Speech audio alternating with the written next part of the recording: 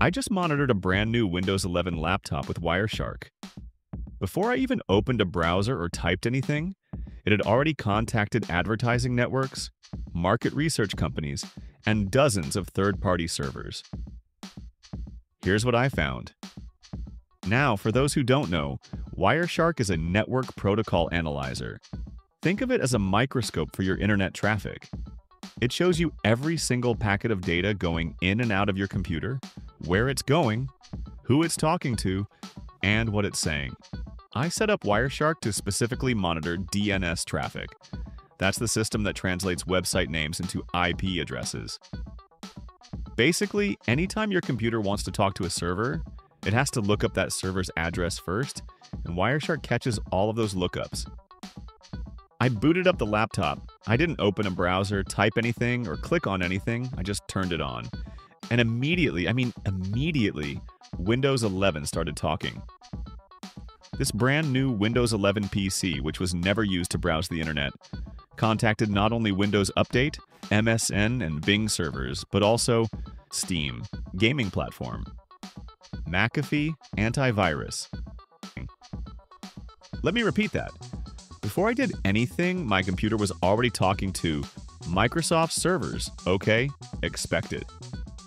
But also advertising networks, market research companies, software distribution platforms, geolocation services. Windows 11 connected to many third-party servers and services as soon as it was installed without asking for the customer's permission. Most of these connections were for ad tracking. Now here's where it gets really interesting. The PC security channel, the researchers who originally did this experiment, also ran the same test on Windows XP. You know that 22-year-old operating system from 2001? The only things that the 20-plus-year-old operating system contacted were Windows Update and Microsoft Update servers. Windows XP 2001 contacts, two servers, Windows Update only. Purpose OS updates. Third party connections zero. Windows 11 2025 contacts, dozens of servers.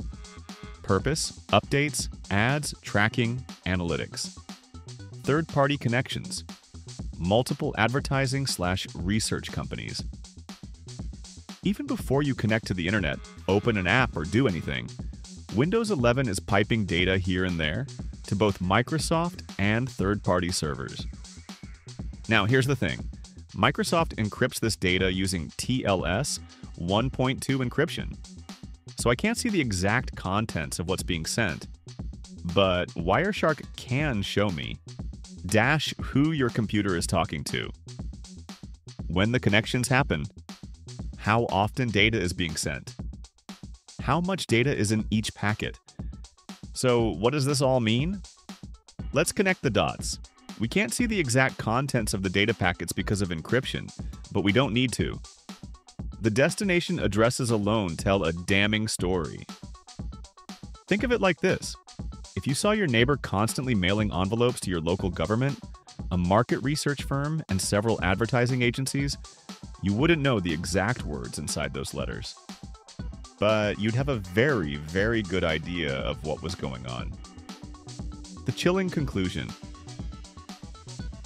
Your Windows 11 machine is not a loyal appliance that waits for your commands.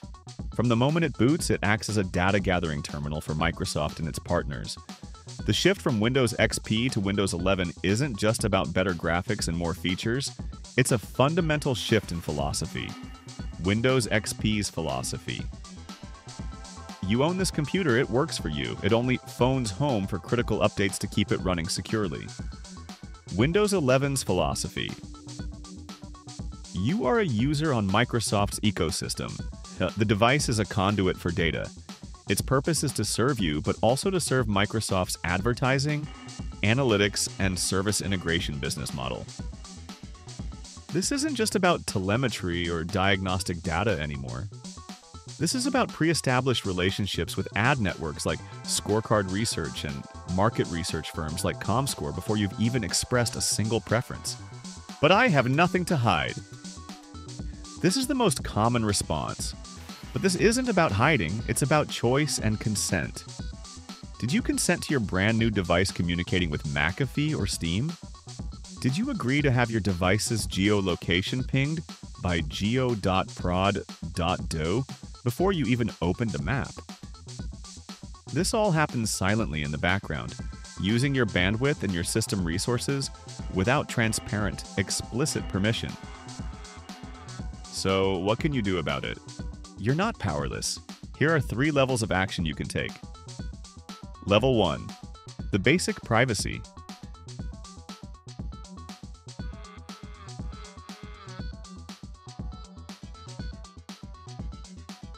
Set it to require diagnostic data only. Turn off tailored experiences.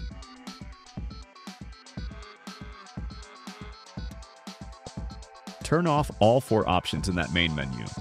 These are advertising IDs and tracking traits. During setup or after, decline all optional data sharing prompts. Be a no man. Level 2 The Enthusiast Lockdown.